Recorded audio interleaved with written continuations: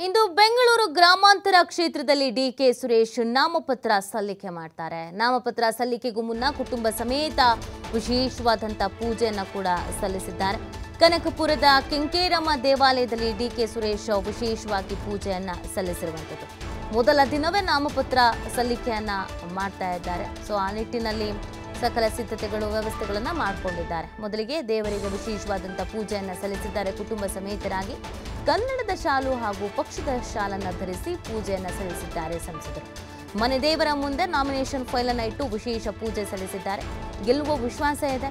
ಜನರ ಬಳಿ ಕೂಲಿ ಕೇಳ್ತಿದ್ದೇನೆ. ಜನರು ಕೂಲಿ ಕೊಡ್ತಾರೆ ಅನ್ನೋ ನಂಬಿಕೆ ಇದೆ ಅಂತ ಡಿ ಕೆ ಸುರೇಶ್ ಅವರು ಈ ಸಂದರ್ಭದಲ್ಲಿ ಮಾತನಾಡಿದ್ದಾರೆ. ಸ್ವಲ್ಪ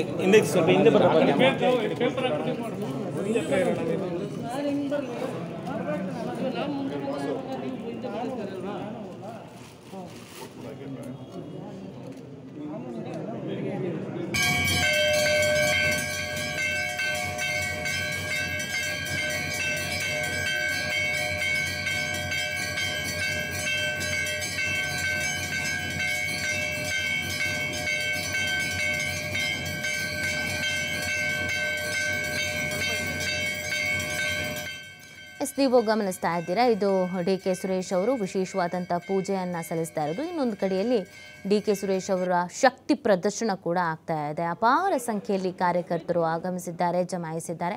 ಪ್ರಮುಖವಾಗಿ ಕನ್ನಡದ ಶಾಲನ್ನು ಕೂಡ ಧರಿಸಿದ್ದಾರೆ. ಈ ಬಾರಿ ಡಿ ಕೆ ಸುರೇಶ್ ಅವರು ಬಹಳಷ್ಟು ಚರ್ಚೆಗೆ ಕಾರಣವಾಗಿದ್ದು ನಮ್ಮ ಕನ್ನಡಕ್ಕೆ, ಕರ್ನಾಟಕಕ್ಕೆ ಅನ್ಯಾಯ ಆಗ್ತಾ ಇದೆ. ನಮ್ಮ ಪಾಲು ನಮಗೆ ಬರ್ತಾ ಇಲ್ಲ ಅನ್ನುವಂಥ ವಿಚಾರಕ್ಕೆ ಸಂಬಂಧಪಟ್ಟಂತೆ ಗಟ್ಟಿ ಧ್ವನಿಯಲ್ಲಿ ಕರ್ನಾಟಕದ ಪರವಾಗಿ ಧ್ವನಿ ಎತ್ತಿದ್ರು. ಹಾಗಾಗಿ ಕರ್ನಾಟಕದ ಪರವಾಗಿ ಧ್ವನಿ ಎತ್ತಿದಂಥ ಸಂಸದ, ಏಕೈಕ ಸಂಸದ ಅನ್ನುವಂಥ ಹೆಗ್ಗಳಿಕೆಯನ್ನು ಪಟ್ಕೊಂಡಿದ್ರು ಆ ವಿಚಾರವಾಗಿ ಬಹಳ ಚರ್ಚೆ ಆಗಿತ್ತು.